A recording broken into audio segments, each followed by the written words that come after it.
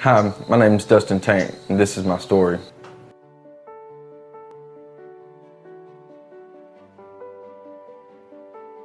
At a young age, I was raised up in church, and my dad was a Sunday school teacher.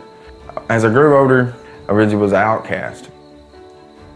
About the age of uh, 16, I started drinking and popping pills.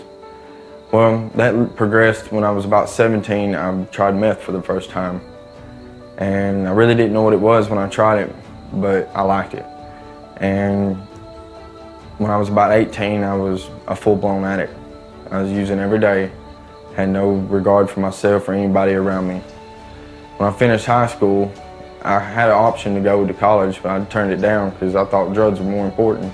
Like a demon was inside of me, and I knew that he was in control and I had no choice but to listen to him or I was gonna die.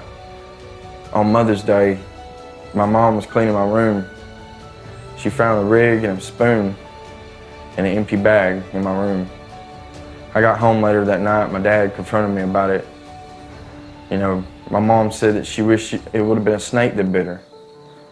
You know, just struggling, skin and bones, depressed, suicidal thoughts. The only two people in my life that stayed consistent was my two parents. And that sent me down a darker path and I was selling everything I had. I had nothing.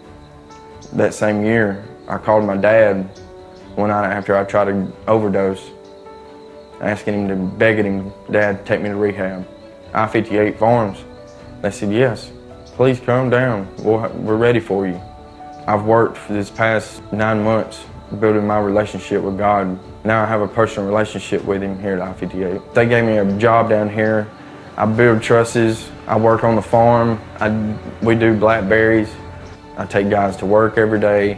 I make sure guys get doctor's appointments. The scripture that spoke to me the most when I first got here within my first week was James 4, 13 through 15.